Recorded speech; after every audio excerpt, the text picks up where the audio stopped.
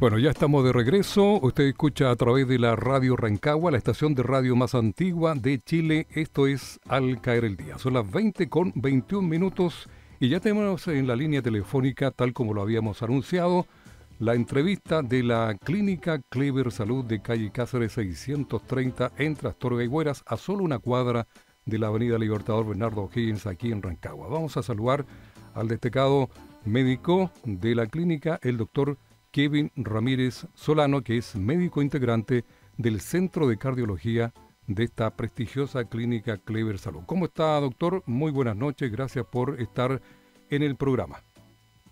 Hola, buenas noches. Eh, para mí es un gusto estar acompañándolos hoy en este prestigioso programa. Así que quedo a disposición de despejar todas las dudas en cuanto a este tema importante que es la insuficiencia cardíaca. Claro que sí. Eh, nosotros somos los agradecidos a nombre de todos los auditores, doctor, porque siempre es importante eh, mantenerlos informados de estas patologías que son tan necesarios tener una buena información para poder saber enfrentarlas, que es lo que es lo que más eh, deseamos. Claro que sí. la insuficiencia cardíaca es una enfermedad importante, es una, es una enfermedad que antes era eh, menos valorizada, tal vez por desconocimiento, pero eh, en estos momentos yo digo que estamos en un año muy privilegiado porque los avances científicos han hecho que mude mucho la expectativa de, vida y la expectativa del tratamiento cuando se logra entender a ciencia cierta eh, la gravedad y, y, así disponer de tratamientos que son muy, muy importantes para cada paciente. Pero eh, entrando así en detalle, eh, yo puedo decir que la insuficiencia cardíaca primero hay que conocer qué es antes de cualquier cosa. Y esto es una enfermedad que se trata de que existe un desequilibrio entre la capacidad del corazón de ejercer su función, que en este caso es bombear la sangre, y las necesidades que el cuerpo le pide. Entonces, eh, poniendo como ejemplo, es cuando el, organismo pide cierta, cierto trabajo del corazón que éste se ve insuficiente o no es capaz de realizarlo en cierto momento. Entonces, eh, si bien eh, los síntomas podemos, muchas personas los pueden normalizar y decir que, bueno, muchas veces no tienen nada, eh, parte con síntomas clásicos del día a día, como por ejemplo un cansancio, o la o así la, la, la, la, capacidad de no hacer las cosas que antes era capaz de hacer, ya eh, eh, sería la incapacidad de hacer actividades que no que antes se cumplían con normalidad y que en estos momentos ya cuesta mucho más o la, el simple cansancio al hablar, al caminar, al hacer un trote o una caminata, ya se sienten cansados y tienen que tener una necesidad de parar para respirar. Eh, estos son síntomas que ya pueden estar enfrente de esta enfermedad que sin tratamiento es potencialmente mortal. Entonces, de ahí la importancia de saber reconocer los factores de riesgo, saber conocer los síntomas que, que tienen que obligar a consultar para, para poder mantener una buena salud. ¿Ya? Perfecto. Estamos conversando con el doctor Kevin Ramírez, destacado médico del Centro de Cardiología de la Clínica Clever Salud. Bueno, usted ya nos dijo que es la insuficiencia cardíaca. Eh, algunos detalles de los factores de riesgo más comunes para desarrollar la insuficiencia cardíaca. Usted me dijo, doctor, o les contó a los auditores que a veces hay síntomas que son muy característicos eh, para determinar. ¿Esa sería la forma de diagnosticar la insuficiencia cardíaca a través de los síntomas que presenta un paciente cuando llega a su consulta? Mire, primero eh, en la consulta, eh, lo que tú dijiste, hay factores de riesgo que hacen que ya uno esté sospechando de que un paciente pueda tener insuficiencia cardíaca. Y son factores de riesgo del común, por ejemplo, la diabetes, la hipertensión, eh, el hábito de fumar, eh, los, los pacientes que tienen historias de infarto, los pacientes que tienen historia de daño en la válvula del corazón, pacientes con arritmias cardíacas o enfermedades congénitas y obesidad que es del día a día, infecciones muy, infecciones que pueden ser leves o pueden ser graves, que hacen que ya desarrolle insuficiencia cardíaca. Y algo muy importante que muchas veces no se pregunta o no se tiene en cuenta, que es la apnea del sueño. Aquellos pacientes que son roncadores, eh, que, permanecen con unas pausas respiratorias durante la noche, que la pareja puede captar cuando la persona deja de respirar. Eh, son estos los factores más importantes para poder desarrollar la enfermedad. Y hay muchas, eh, muchas técnicas para poder diagnosticarlo. Si bien eh, el diagnóstico de insuficiencia cardíaca es clínico, va en la pericia y, y en el buen entrenamiento que, del médico que tengan enfrente para poder detectar esta enfermedad. también existen técnicas que, con que uno se puede apoyar como el ecocardiograma, eh, e, evaluar la capacidad funcional mediante un test de esfuerzo, eh, poder investigar el tema de arritmias con un, con un holter de arritmia de 24 horas. Eh, también existen exámenes de sangre como el NT-proBNT, que es un examen muy novedoso que permite medir la capacidad funcional del corazón. Entonces tenemos muchas, tenemos muchas técnicas que podemos eh, evaluar y todo esto para beneficio de los pacientes. Así que eh, dependiendo también de, de, así de, cuando el paciente, de la etapa de la enfermedad en que el paciente se encuentra, eh, saber diagnosticarlo, saber clasificar la enfermedad es lo que va a hacer que el paciente al final tenga una buena evolución. Doctor, eh, aquí eh, un auditor me dice, eh, puede ser un punto o, un síntoma, a ver si usted lo ratifica o lo desmiente, el aumento de peso. ¿Podría ser claro. Un, un síntoma de, advertir de una insuficiencia cardíaca? Claro, mire, con el aumento de peso, la obesidad, el mundo quedó muy alarmado. Ahora acabamos de vivir una pandemia ya a nivel mundial que fue el COVID-19, eh, mató aproximadamente 10 millones de personas, ¿ya? Pero eh, si, podemos, si nosotros medimos la, la, así todo el impacto que tuvo el COVID en comparación a la obesidad que lo vemos todos los días y escuchamos de cuando aumentamos de peso, eh, la obesidad junto con otros detalles como por ejemplo ser hipertenso y ser diabético, es un juego, es un, es un conjunto, un juego que puede ser potencialmente mortal. Por ejemplo, la obesidad eh, hace parte del síndrome metabólico que también entra la resistencia a la insulina y diabetes. Eh, la diabetes es una enfermedad que mata a una persona a cada seis segundos en el mundo. Entonces, eh, si tú mides el impacto y la mortalidad de la obesidad en comparación a lo que fue muy llamativo, que fue el COVID-19, entonces la, la obesidad como patología es mucho más mortal que esta otra enfermedad. De hecho, eh, la obesidad es más mortal que el cáncer. Y la insuficiencia cardíaca que no se trata, eh, las estadísticas no mienten, eh, las personas tienen más chance de morir por insuficiencia cardíaca con factor de riesgo de obesidad que con un mismo cáncer, lastimosamente. Es decir, es muy importante también los hábitos, como usted lo decía en algún momento, que podría esto revertir eh, de forma gradual eh, la insuficiencia cardíaca?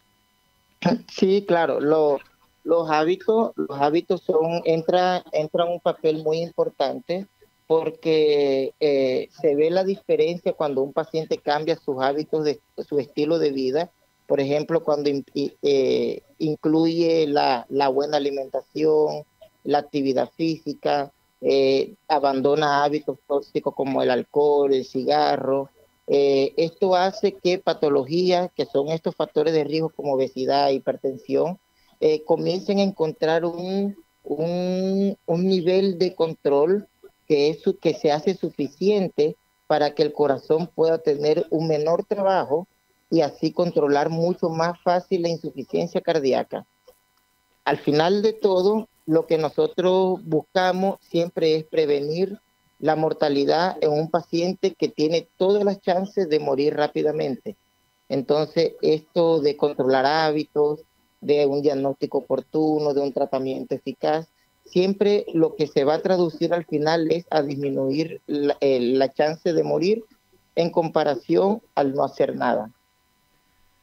Perfecto. Estamos a esta hora conversando a través de la radio Rancagua con el doctor Kevin Ramírez, que es médico del Centro de Cardiología de la prestigiosa clínica Clever Salud, que está ubicada en la calle Cáceres 630 entre Astorga y Bueras, a solo una cuadra de la avenida Libertador Bernardo Higgins, aquí en Rancagua. Para agendar horas ahí con este centro de cardiología, el 640 10 600, 640 10 600. Doctor, a ver si nos puede decir cuáles son las opciones de tratamiento disponibles para los pacientes con esta patología de la insuficiencia cardíaca. Eh, las opciones de tratamiento van siempre en el control de las, de las patologías de base. Por ejemplo, eh, el, un paciente que es hipertenso, con solo el hecho de disminuir de peso, disminuir el consumo de sal, eh, e incorporar, abandonar la, dieta rica en grasa, colesterol y, e incluir eh, alimentos mucho más benéficos, eh, ya se traduce en una reducción de su propia hipertensión entre 3 a 10 milímetros de mercurio. Eso quiere decir que yo tendría que utilizar menos medicamentos para controlar una hipertensión que es una patología que va a hacer un daño en el miocardio y va a producir insuficiencia cardíaca. Y así como yo puse de ejemplo la hipertensión, así yo puedo hablar de cada factor de riesgo que eh, haciendo un buen control, como diabetes, como abandono del cigarro y todo esto que he hablado, eh, se va a traducir siempre en un control de la, de la patología. Ahora, eh, el tratamiento de la insuficiencia cardíaca, para poder tratarlo bien, primero tenemos que clasificar el paciente porque eh, según las directrices mundiales, sobre todo la europea, que es la entidad más seria que estudia esta enfermedad, eh, clasifica la insuficiencia cardíaca en tres estadios. En una, que es cuando el corazón, su función es extremadamente baja, menos del 40%. En otra, que es cuando es levemente disminuida, que es entre el 40 y el 50%. Y en otra, cuando la función está preservada que es más del 51%. Entonces, no necesitas tener una baja función del corazón para diagnosticarte como paciente con insuficiencia cardíaca, porque también la insuficiencia cardíaca con fracción de eyección que está preservada, es decir, aquel corazón que aún sigue cumpliendo la tarea, pero que la forma de hacer el trabajo, la forma de bombear es insuficiente, eh, es tal vez una de las más difíciles de tratar.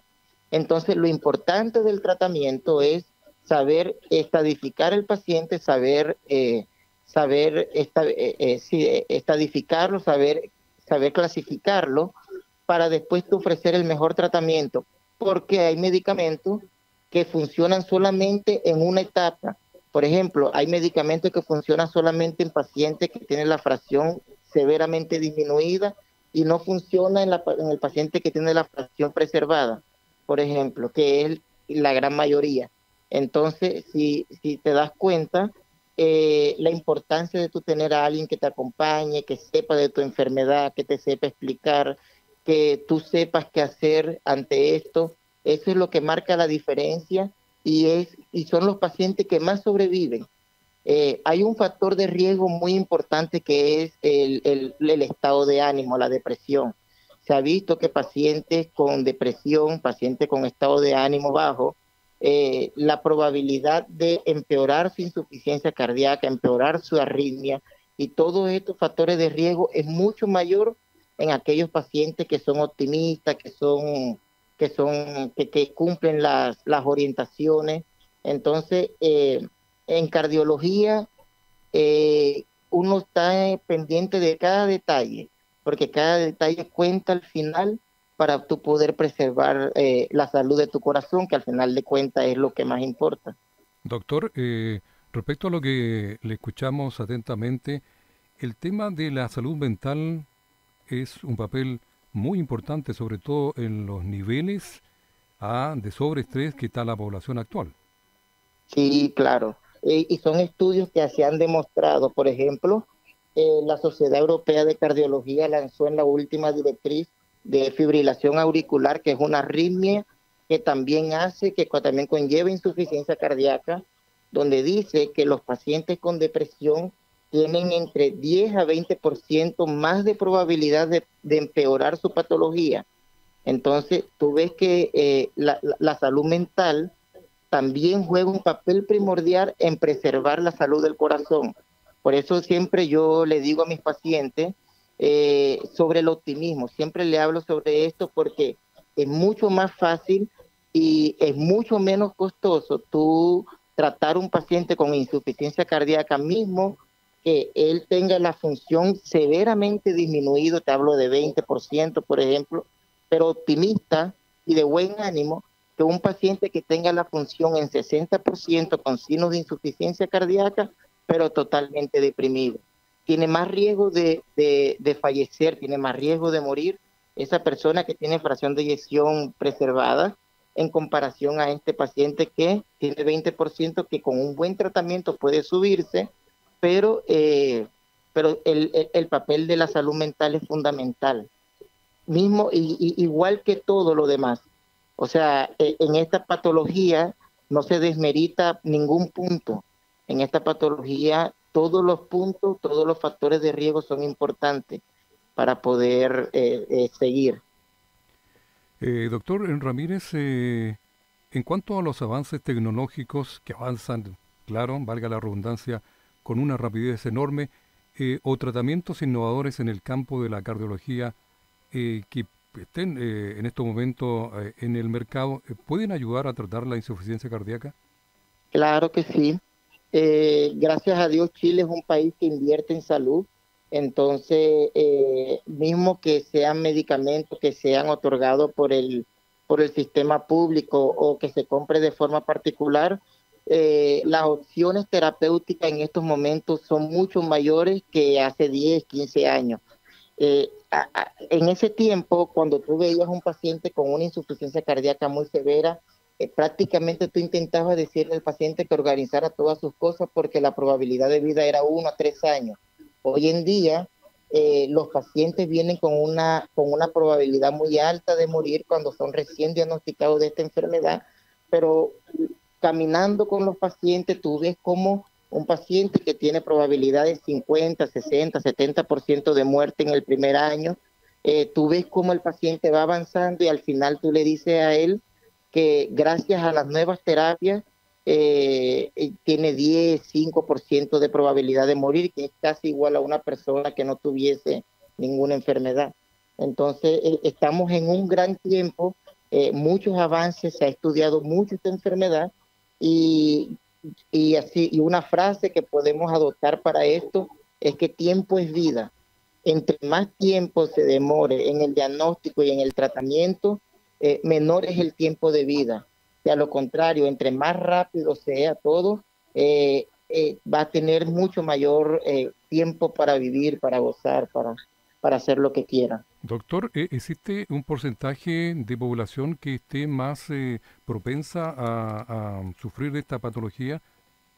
Sí, claro, los pacientes posinfartados, eh, los pacientes que no tengan controladas los factores de riesgo como hipertensión, diabetes, el paciente obeso, el paciente que ronca, eh, los pacientes que tienen dependencia química, o dependencia, o dependencia psicológica como alcohol, cigarrillo, independientemente que sean electrónicos o no, son pacientes que están frente a esta terrible enfermedad. ¿Y la edad juega un rol importante también?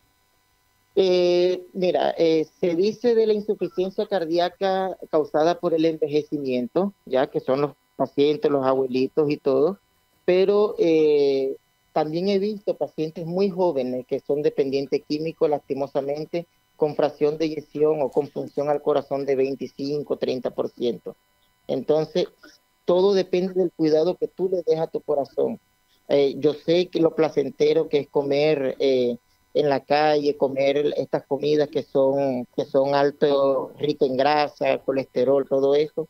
Pero eh, al final de cuentas, lo que tú ingresas en tu organismo, eh, esto tienes que saber que esto va a procesarse, que todas estas toxinas que incluyen estos alimentos van a tener que depositarse en tu cuerpo y que cada toxina va a tener un grado de repercusión y el corazón recibe todo, así como el riñón, así como el pulmón, en otras cosas, pero el corazón es un órgano muy global.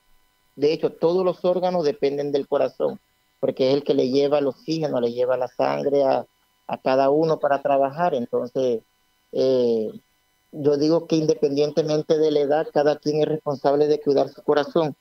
Perfecto. Bueno, digamos que el Centro de Cardiología de la Clínica Clever Salud tiene una visión amplia y comprometida, sobre todo en el cuidado de las patologías cardiovasculares. Está dirigida por el doctor eh, Hermann Schwarzes eh, y nuestro centro está diseñado para proporcionar a todos los pacientes la más avanzada y completa atención cardiovascular, como lo ha manifestado muy bien el doctor Ramírez, que a esta hora nos acompaña.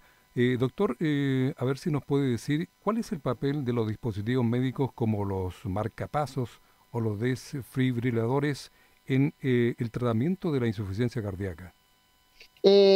los dispositivos intracardíacos como marcapaso, desfibrilador o resincronizador cardíaco, ellos tienen un papel fundamental porque ellos eh, intentan ayudar en el aumento de la recuperación de la, de, la, de la función del corazón. Eh, cuando los pacientes tienen su terapia médica optimizada, una cosa es que tú inicies tratamiento y otra cosa es que tú optimices el tratamiento en ese paciente. Entonces te hablo del paciente que tiene toda su terapia médica optimizada, o sea, todos los medicamentos que actúan para ayudar a subir la función del corazón y aún no suba ella, entonces ahí uno va a hacer los dispositivos intracardíacos. Eh, piensa que el corazón entre menos funciones también puede generar mortales complicaciones como arritmias ventriculares, ya la misma falla cardíaca puede hacer que se generen trombos dentro del corazón y producir accidentes vasculares. Entonces, los dispositivos intracardíacos entran a ayudar a que eh, la ayudar a la contractilidad del corazón, ayuda a que el corazón tenga un, no deje de, funcionar y las arritmias, las complicaciones que puedan generarse por la falla que tiene, eh, ellos mismos lo, solucionan al tiro. Por ejemplo, eh, tú tienes un desfibrilador, un desfibrilador intracardíaco, generas una arritmia ventricular y este dispositivo al tiro eh, desfibrila el corazón y quita la arritmia y evita un paro cardíaco, por ejemplo. Entonces, esta es como la función. Ahora, no todos los pacientes lo necesitan. Yo te hablo de pacientes que son extremadamente graves, que no responden a la terapia médica, eh, son los que son candidatos a este tipo de dispositivos pero lo que se ha demostrado a nivel mundial es la terapia médica optimizada, el saber tú qué medicamento va, en qué fase estás, eh, los diuréticos, por ejemplo, eh, son medicamentos que, que, van a ayudar mucho, sobre todo a la calidad de vida del paciente. Es decir, es lo primero que se pierde. El paciente tiene una calidad de vida, tiene una rutina, tiene unas actividades que hacía ya el paciente no va a poder hacerlas. Entonces, eh, eso se consigue con los medicamentos. Eh, doctor eh, Ramírez, yo le iba a hacer una pregunta. Es decir, deduciendo de todo lo que usted nos está conversando, ¿se puede controlar o reducir con medicamentos la insuficiencia cardíaca? Sí, claro que sí. como te dije, los medicamentos son el pilar fundamental en esta enfermedad.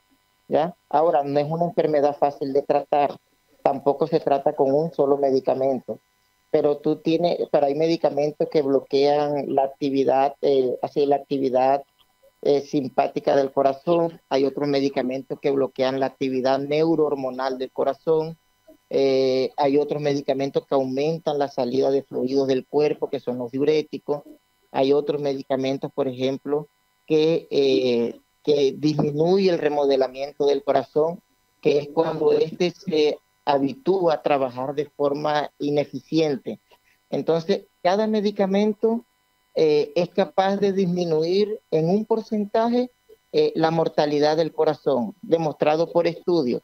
Eh, entonces, sumando cada medicamento, tú puedes hacer una prevención de riesgo de muerte significativa en cada paciente. Y cada paciente es un caso individual. O sea, no es porque a alguien le funcionó, al otro también le va a funcionar, porque también tiene sus consecuencias el hecho de tomar medicamentos, ¿ya?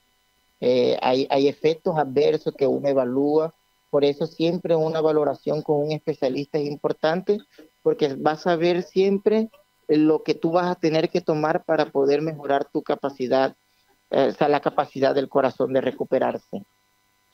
Claro que sí. Oiga, doctor, aquí hay una pregunta bien interesante. Eh, dice esta auditora, eh, ¿cuándo se recomienda la cirugía de trasplante de corazón? Eh, es un tema controversial porque la cirugía, el trasplante cardíaco se supone que se le da a los pacientes que están en fase terminal de, en fase terminal de la enfermedad. El corazón muere en cardiopatía dilatada.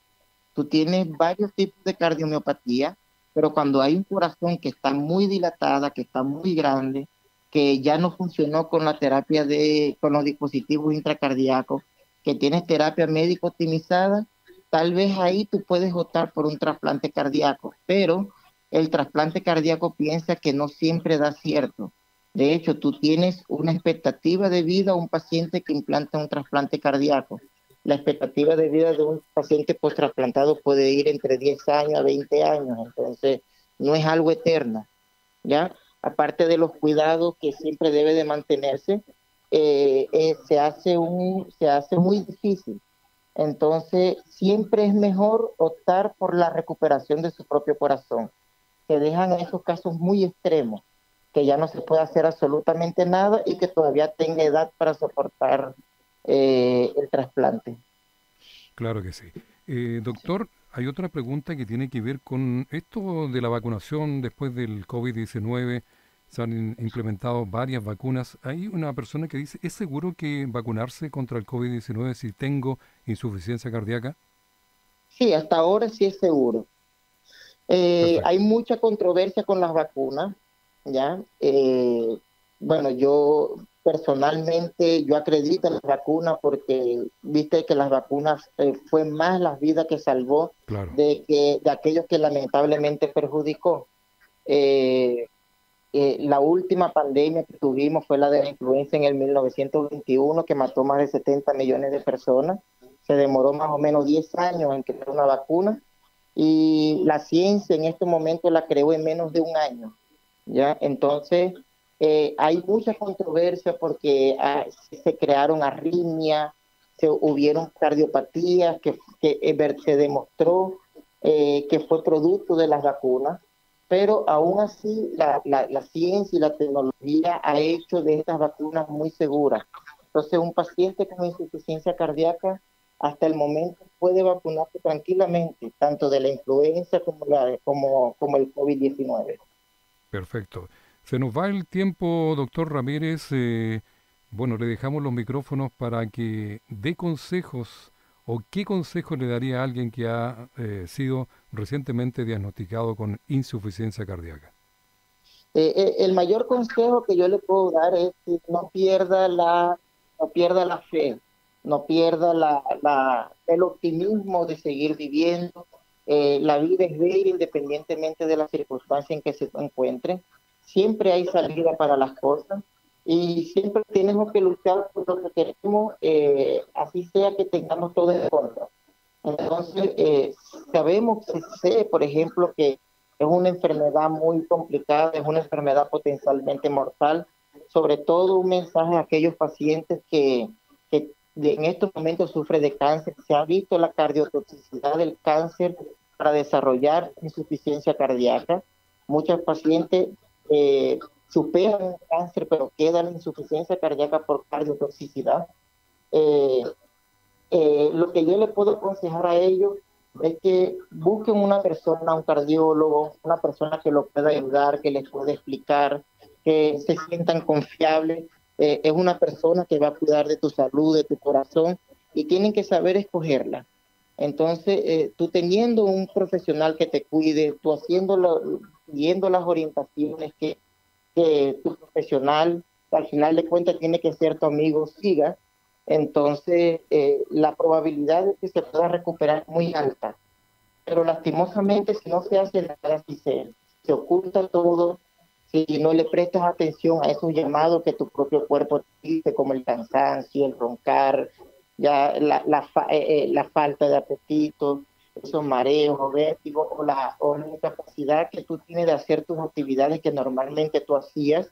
Entonces, eh, si, si te quedas quieto, él te va a pasar la factura en algún momento.